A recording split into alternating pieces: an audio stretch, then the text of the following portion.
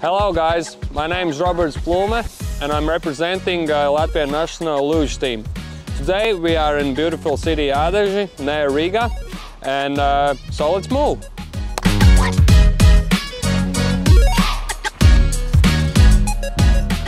For me, trainings are all my life.